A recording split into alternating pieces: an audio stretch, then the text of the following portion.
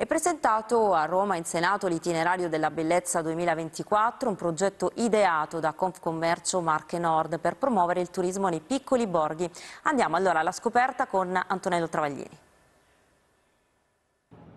Non solo città d'arte, l'Italia da scoprire e ammirare passa anche dai piccoli borghi e anche quest'anno Confcommercio Pesaro e Urbino Marche Nord ha presentato in Senato l'itinerario della bellezza 2024. Giunta alla settima edizione, l'iniziativa promuove un viaggio dal mare alla campagna attraverso gli angoli più suggestivi di un territorio. È un progetto di promozione turistica che arriva dal territorio. Hanno aderito finora 25 comuni.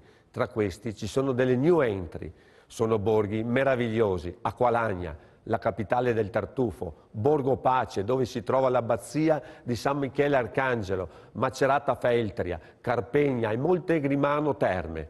La nostra Italia è ricchissima di straordinarie bellezze. Un progetto che coinvolge anche le aziende locali per un nuovo modello di sviluppo economico basato sulla bellezza. Progetto che prevede la realizzazione di tante iniziative di promozione e comunicazione turistica in Italia e all'estero per valorizzare appunto il mondo dei borghi, per un turismo di qualità, un turismo sostenibile cercando di ipotizzare insieme agli amministratori di questi comuni un nuovo modello di sviluppo economico basato sulla valorizzazione della bellezza, bellezza culturale, ambientale, enogastronomica, perché ricordiamo che siamo la terra anche del tartufo tutto l'anno.